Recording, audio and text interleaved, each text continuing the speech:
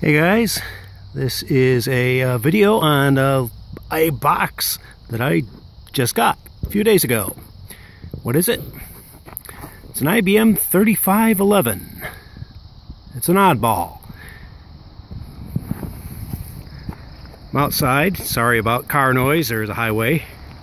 Anyway, this uh, is part of the PS/2 line, and it's sort of kind of an uncommon piece. It is a SCSI expansion tower. As you can see, it's styled very much, very much uh, from about the uh, the mid-range PS/2 line or uh, mid-era PS/2 line.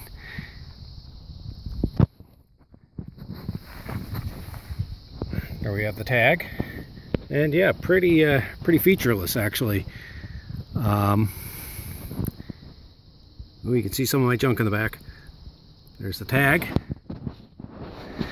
So yeah, someone on the uh, classic comp list, Ali, I think it was, uh, said, pics or didn't happen. Well, video. Here's video.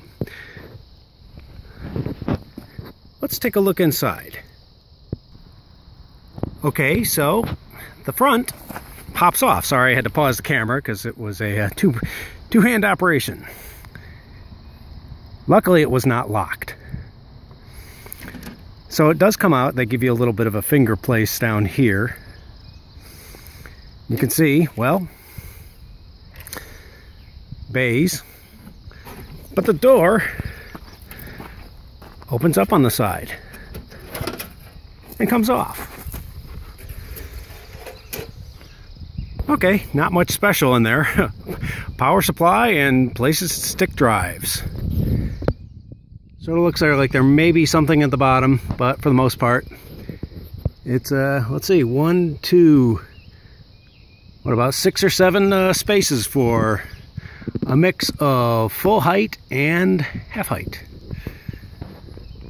Interesting power supply that looks uh, kind of non-standard. There we have uh, places for your power connections. And lastly, well, there's the Gazinta. I suppose you could, uh, maybe there's an internal terminator in there, I don't know.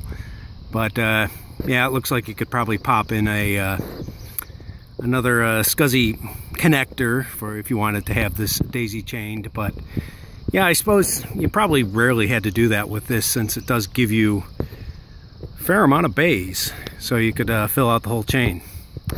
So anyway, zoom up here on the tag for all you guys that like like tag stuff. What's that? Question mark. I don't know. I guess they wanted you to think about the power coming in. Okay, well that's it. IBM 3511. Kind of an oddball piece. It's pretty good shape, I gotta say couple of dings. I'll patch those up. That'll be easy. But yeah, I guess this will go into the IBM collection. And to put this on, probably not going to be able to do this very nicely with one hand.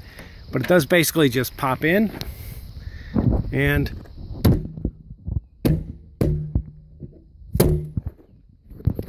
pound to fit. Okay, that's about it.